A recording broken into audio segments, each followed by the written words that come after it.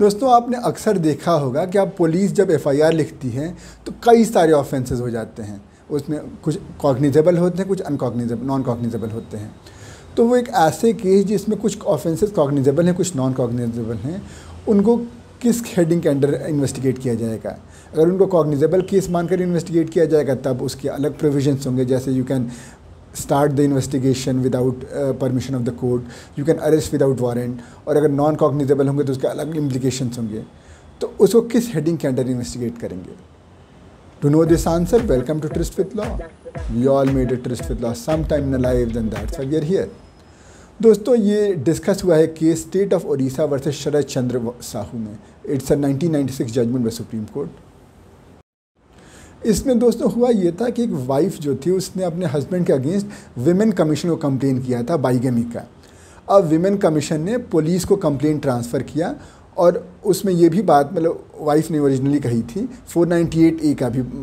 Cruelty और उसमें dowry वगैरह की बातें भी उसमें कही थी। तो विमेन कमीशन ने कंप्लेन पुलिस को कर दी।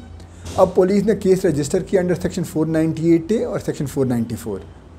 तो अब जब ये इसके अगेंस्ट मजिस्ट्रेट ने इसके अकॉर्डिंगली कॉग्निजेंस ले लिया,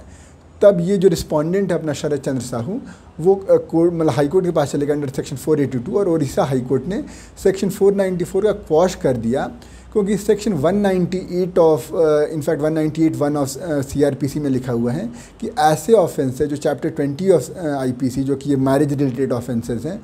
उसका कॉग्निजेंस तभी मैजिस्ट्रेट ले सकते हैं जब कंप्लेनेंट वाइफ हो। और प्रोवाइजो में और कुछ भी रिलेशन दिए हुए हैं, जैसे ब्रदर सिस्टर और दोज रिलेटेड बाई ब्लड और अडॉप्शन तो ये सब दिए हुए हैं प्रोवाइजो में। लेकिन विमेन कमीशन कहीं नहीं आता इसमें तो उसने 494 का कॉग्निजेंस क्वाश कर दिया और 498 ए पे केस चला और इसी के अगेंस्ट ये अपील में यह केस था स्टेट ऑफ़ उड़ीसा अपील में गई थी। तो सुप्रीम कोर्ट ने उड़ीसा हाई कोर्ट के इस डिसीज़न को, जिसमें उसने क्वाश किया था, उसको उसने, सुप्रीम कोर्ट ने खुद क्वाश कर दिया और कोर्ट ने ये कहा कि वी अग्री कि the court could not directly have taken cognizance unless की वाइफ या जो भी प्रोवाइजो में जो रिलेशन लिखे हुए हैं, वो कम, वो कंप्लेन करें. लेकिन यहाँ पर पुलिस के यहाँ कंप्लेन की गई और police is entitle to take cognizance of जो भी उसमें आए हैं cases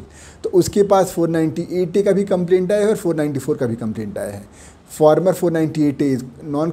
is cognizable 494 is non cognizable based on schedule one जो कि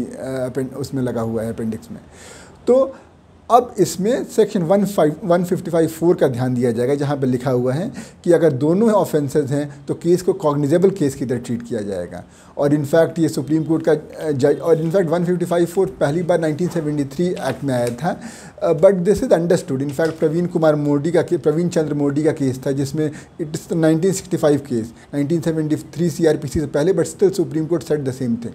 क्योंकि दिस इज़ अंडरस्टूड ऑल्सो कि अगर दो एक कॉग्निजेबल हो, एक नॉन कॉग्निजेबल हो तो इट्स बेटर कि केस को कॉग्निजेबल की तरह ट्रीट किया जाए ताकि उसमें the police can do its investigation properly तो इसलिए यहाँ पे मैजिस्ट्रेट के यहाँ कंप्लेंट नहीं गई थी पुलिस ने कॉग्निजेंस लिया था और अकॉर्डिंगली पुलिस इन्वेस्टिगेट करेगी एज अ कॉग्निजेबल ऑफेंस और फिर चार्जशीट उसने दिया मैजिस्ट्रेट को और मैजिस्ट्रेट ने चार्जशीट के बेसिस पे कॉग्निजेंस लिया था। इसलिए whatever the magistrate did was right तो दोस्तों आई होप आपको केस समझ में आया होगा। कोई दिक्कत, कोई परेशानी कमेंट सेक्शन में ज़रूर बताइएगा। मिलते हैं अगले वीडियो में किसी नए केस के साथ। Till then let's continue with with law and bye